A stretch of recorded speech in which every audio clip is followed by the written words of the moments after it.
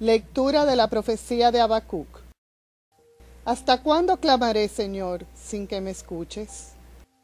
Te gritaré violencia sin que me salves. ¿Por qué me haces ver desgracias? Me muestras trabajos, violencias y catástrofes. Surgen luchas, se alzan contiendas. El Señor me respondió así.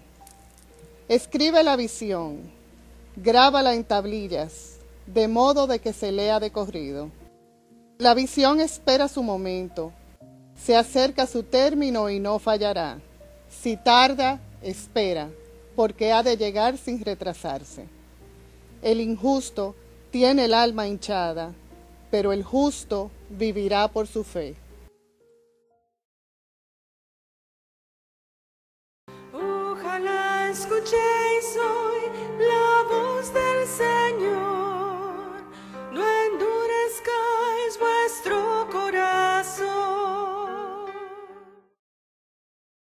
Venid, aclamemos al Señor.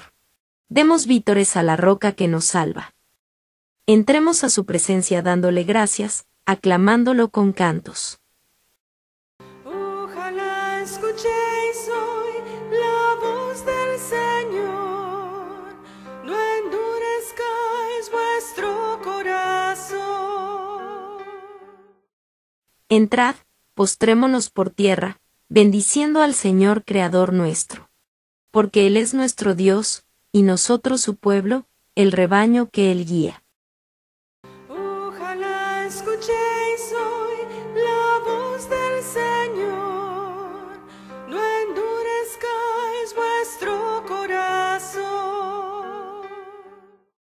Ojalá escuchéis hoy su voz, no endurezcáis el corazón como en Meribá.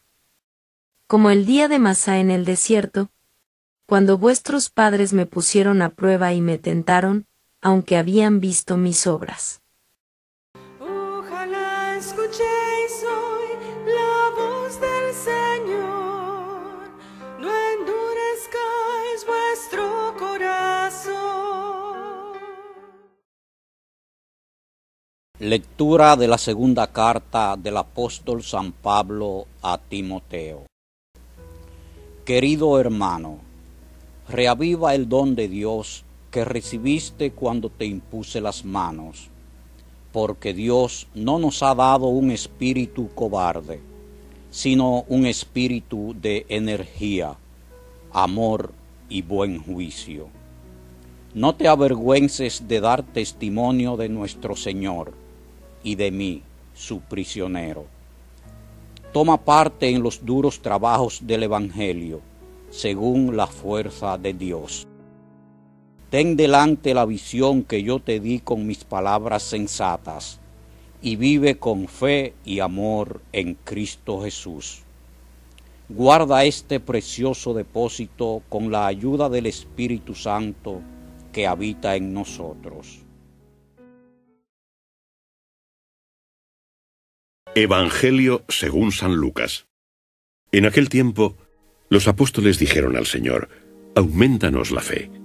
Y el Señor respondió, Si tuvierais fe como un grano de mostaza, diríais a este sicómoro, Arráncate y plántate en el mar, y os obedecería. ¿Quién de vosotros, si tiene un criado arando o pastoreando, cuando llega del campo le dice, Pronto, ven y siéntate a la mesa? ¿No le dirá más bien, Prepárame la cena, arréglate para servirme mientras yo como y bebo, que luego comerás y beberás tú. ¿Acaso ha de estar agradecido aquel criado porque hizo lo que se le había ordenado? Pues igual vosotros, cuando hagáis todo lo que se os haya mandado, decid, somos siervos inútiles, hemos hecho lo que debíamos hacer.